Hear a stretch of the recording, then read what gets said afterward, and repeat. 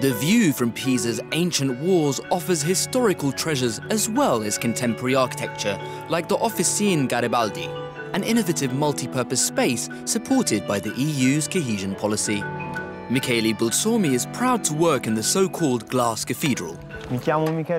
My name is Michele Bulzomi. I'm a journalist and I've worked in the Crystal Cathedral since November 2018.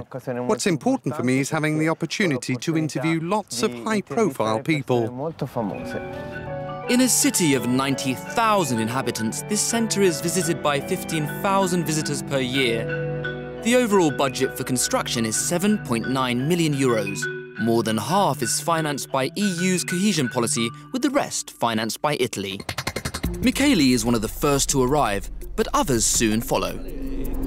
An exhibition opening on the ground floor, university courses on the first floor. The Officina Garibaldi's schedule is huge, with around 400 events every year. The concepts are developed in this corridor, with each officina working on a specific theme.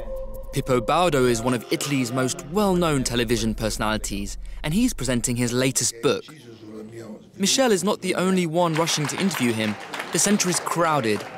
Everything here is free for both the people of Pisa as well as the visitors. Michele comes regularly to the library, which is bursting with resources. You can access more than 90 newspapers dating back to the 19th century, either in paper or microfilmed format. Students prepare their theses here.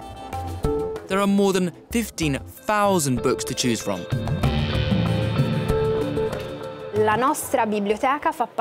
Our library is part of a provincial library network in Tuscany that's connected to a larger national library system.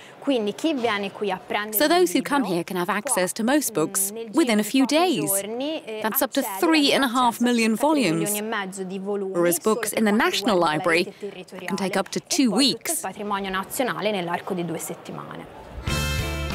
You can discover the Glass Cathedral during one of the guided tours organised every day on the ramparts of Pisa. Three kilometres by foot on one of the oldest fortified walls in Europe. Eh, From this point, we can admire the Officina Garibaldi.